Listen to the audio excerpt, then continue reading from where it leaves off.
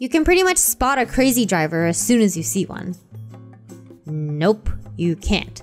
And that's exactly the problem. You can only spot a crazy driver when it's already too late and you're strapped inside their car, ready to just, you know, accept your fate. So I decided to share this story with you guys about a time when I thought I was going to die, but I couldn't do anything about it. But luckily, I think I turned out okay. So a few years ago, my friend and I traveled to China by ourselves. And although it was Allison's first time visiting the country, I, myself, am pretty familiar with China. And therefore, I think I made for a pretty decent tour guide for her. Like, did you know that pandas used to eat meat? And that China looks like a chicken on a map? Okay, that's besides the point. My point is, I always visit with my parents, and we always go to the same boring cities every time. We land in Beijing to see my uncle, then we go to my mom's side, then my dad's side, I get some sort of breathing problem from the pollution, and we go back home to Canada.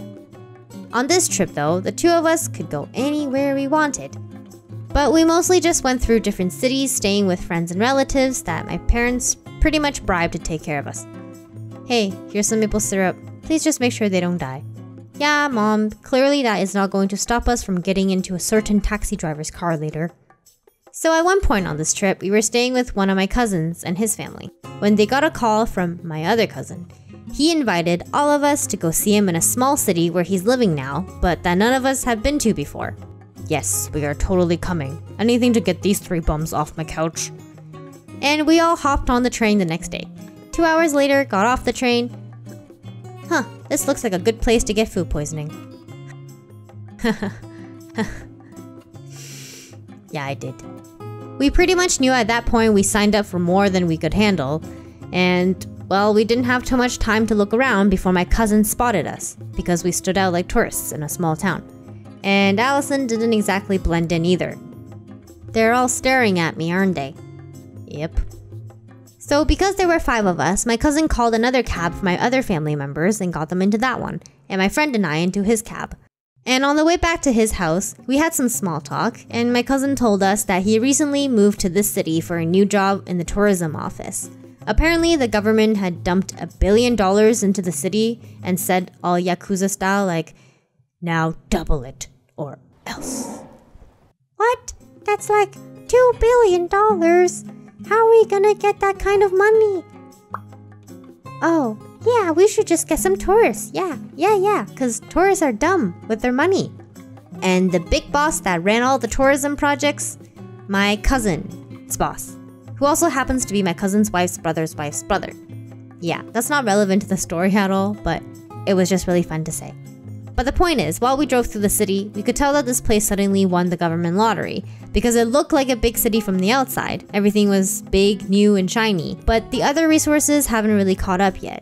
For example, traffic law enforcement was like non existent.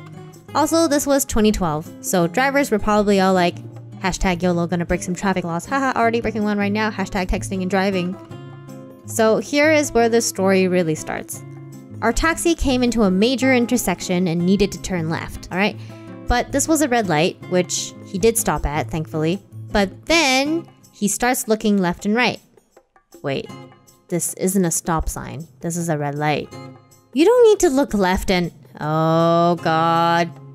So while the oncoming traffic was still far away, he decided to use their lane to try to wiggle his way into the lane we were supposed to be on. But traffic on that side was really heavy, so he had no choice but to just keep driving towards incoming traffic.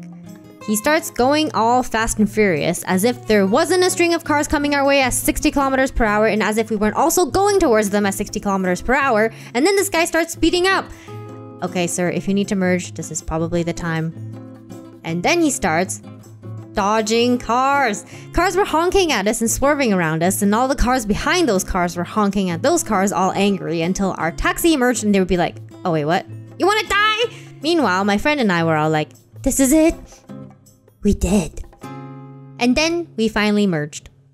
Just to avoid one red light. Good job, sir. We clap for your achievement of saving 10 seconds of our lives in exchange for a life scarring event. Okay, so just to recap in case you missed what he tried to do here. He tried to murder us! So for the rest of the ride, it was pretty peaceful. But I am not done with my story yet. I realized soon after that whole ordeal that the driver was creepily looking at me from his mirror. Oh my god, what does he possibly want from me? Don't talk to me, don't talk to me, don't talk to me. And he turns around and says, Ting tong ling long ting tong. Just kidding, I understood him. What? Wait, no, that's not racist. Hey, I can't be racist against my own race. Shut up. Okay, so you want to know what he said? He said, Ha ha ha, did that scare you? Don't worry, I am a very good driver. You can trust me.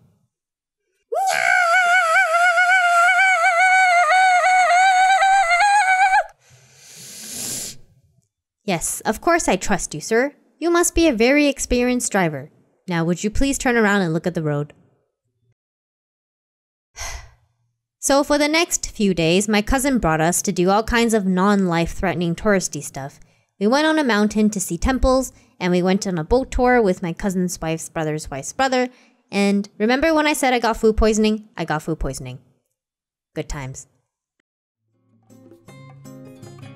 Hi everyone! If you enjoyed this video, thank you. And make sure to stay safe on the road, okay guys? Always look left and right. But if you didn't like this video, well, you can get hit by a car for all I care. Just kidding. But I do hope that you get into a crazy driver's car and then maybe you'll find this video a bit more relatable. So don't forget to subscribe so that it is easier for you to find this video when you do need to rewatch it. So stay alive, haters. Also make sure to show this video to someone who is a crazy driver and remember to share stories of your craziest car rides down below. Don't forget about the like button, it's right there. And for those of you that stayed until this point in the video, you have likely been with our channel since before 10k subs or even before 1k. But if you're new, welcome.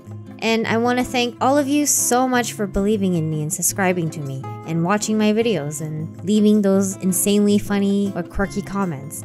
I am so happy that my hard work has paid off and your comments helped me realize that. Not only that I want to make this cheesy, I mean, I don't want to make it cheesy, but Okay. Have a good life. Until next month. Bye.